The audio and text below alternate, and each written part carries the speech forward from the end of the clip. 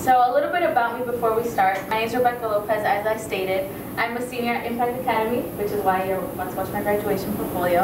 And I'm the oldest child of three, so I have one younger brother and one younger sister. And I'll be my fir- I'll be the first in my family to be going to college. So in the fall, I hope to be attending Occidental College. I'm already enrolled and really excited about that. So some of my interests include drama, playing soccer, and spending time with my friends and family. My goals and future plans. So some of my goals is to succeed in college, uh, not only get into because I already got accepted and have enrolled, but I also want to be successful because I know that they say that the workload is pretty heavy and it's it could be stressful at times. So I want to make sure that actually I don't just barely pass by, that I'm actually successful in college. I also hope to study abroad and get involved on campus. Um, I will be going to LA, and since family is something really important to me, I know it's going to be a difficult transition. And I hope that by getting involved around campus, it will help make the transition smoother. After that, I hope to return home and help others get to college as well, because that is something I'm really passionate about. And that kind of ties into my future goals, which I hope to enroll into graduate school for either business or law. Why do I believe the graduation portfolio is important is for three specific reasons. The first reason is to ensure that I have learned from the work I have done and I'm able to reflect upon it because in college I'm paying for my education. So if I'm just learning stuff that I'm not going to be able to use in the future is kind of useless. So knowing that I can actually use this outside of the classroom is going to be very important. And so the second reason is to show teachers, staff, and parents that I indeed have learned the skills and material necessary to succeed in college. And the last, and I think the most important reason, is to make sure that I know it. I'm actually, towards graduation, when a student starts to get nervous and starts to doubt, like, am I really ready to graduate, leave the four years that I've spent my life and invested my, my time in, and just start something completely new. So it's kind of just a reminder that I am capable of succeeding in college. Some of the challenges I have faced during my past four years is my tardies. I live fairly close to school and I, that's always been a struggle for me.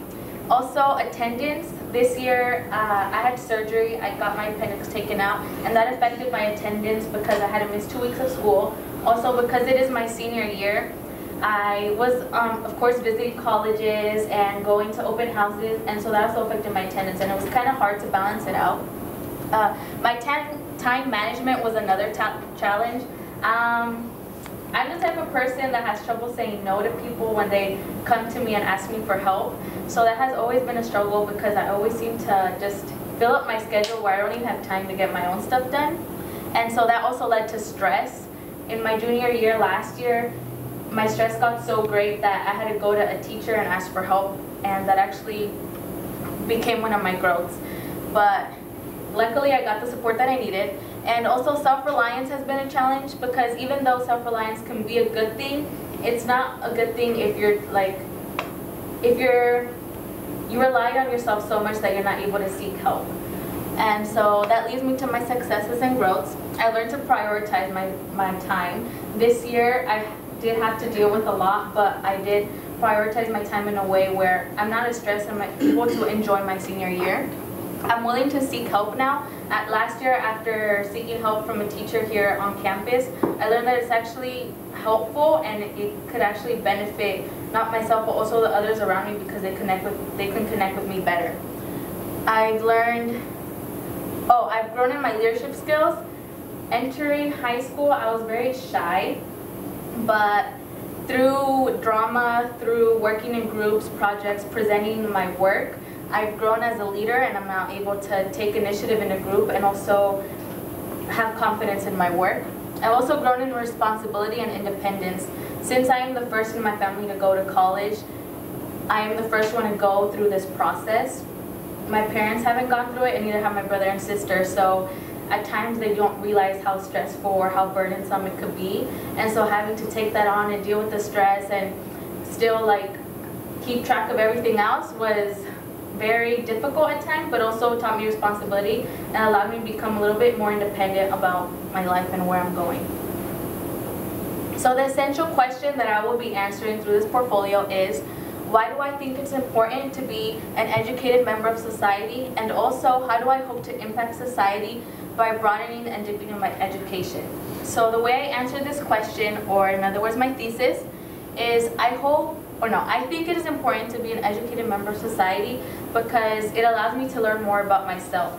Education and learning more not just helps me learn actual content, but about who I am, what are my interests, and also what I can bring to my community. I hope to impact society by setting an example to my family and showing, that, showing them that there is more than one path to take after high school, and to impact my community by bringing awareness of all the opportunities there are, starting with my church. So the three artifacts that I will be talking about today is my American Dream research paper, my WLE project, and my Reaction Rate Inquiry Lab.